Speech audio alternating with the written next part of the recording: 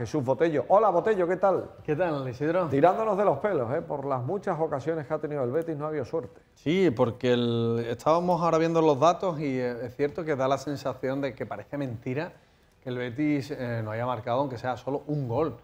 El Betis ha hecho muchísimas cosas bien, muchísimas cosas bien. Pero creo que también eh, hay que resaltarlo, eh, puede jugar en campo rival, puede jugar en el área rival, como muchas veces lo ha hecho el Betis, pero hay que materializarla. Y el Betis no tiene gol. Y eso al final yo creo que en una eliminatoria de 180 minutos eh, hay que hacérselo mirar, sobre todo para el partido allí en Anoeta, porque el Betis ha hecho hoy prácticamente todo bien, todo bien.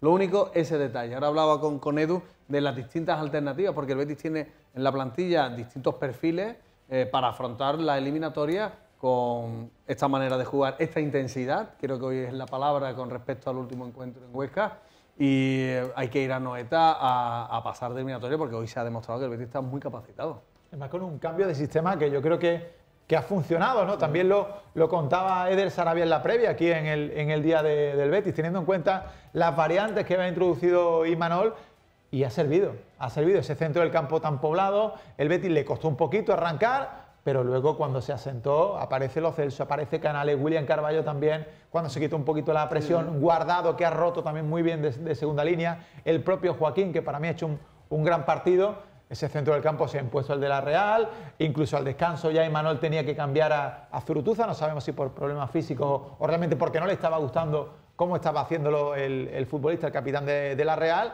y es que el Betis ha sido superior en todo. Y es interesante lo del cambio de sistema porque han mejorado muchos futbolistas. Yo creo que hoy un nombre propio, sobre todo en la parte defensiva, ha sido Bartra, que con más espacios con y sin balón ha estado muy cómodo. Ha hecho unas coberturas eh, prácticamente eh, que nos han salvado muchas veces.